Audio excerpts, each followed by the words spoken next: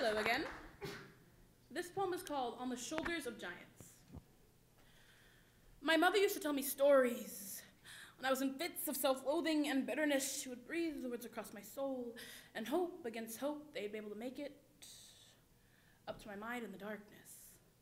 Like climbers trekking through the unworthiness and lighting candles of wonder in the caverns of despair, she would say to me, You reside on the shoulders of giants.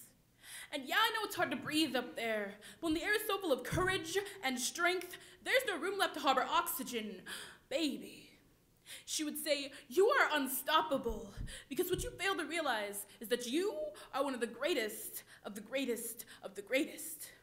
Just the fact that you're standing here now means your DNA is card coded with ripple strains of beauty and violence and power. Baby, each time you breathe, you're inhaling years of slavery and abuse, corruption and condemnation.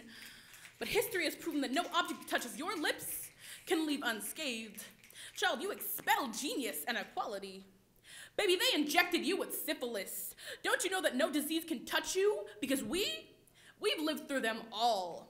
Your lungs are blackened with the years of smoke left over from when they tried to burn you. Yet here you are, breathing. They tried disheartening you with the years of spiritual rape and mental torture, but your heart beats with the strength of the warriors that have came before. They tried taking your feet so you wouldn't stand tall, but child, you have the stature of a goddess.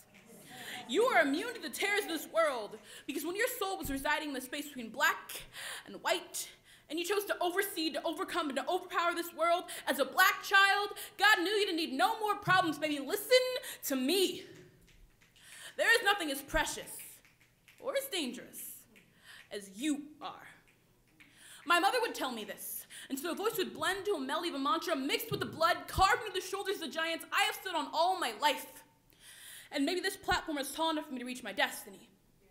For I have been for I walked thousands of miles. I have been burned, cut, stabbed, shot, beaten down, stripped, cast out, objectified, belittled, dominated, raped, spit on, whipped, lynched, put down, choked, blinded, killed, running out of breath.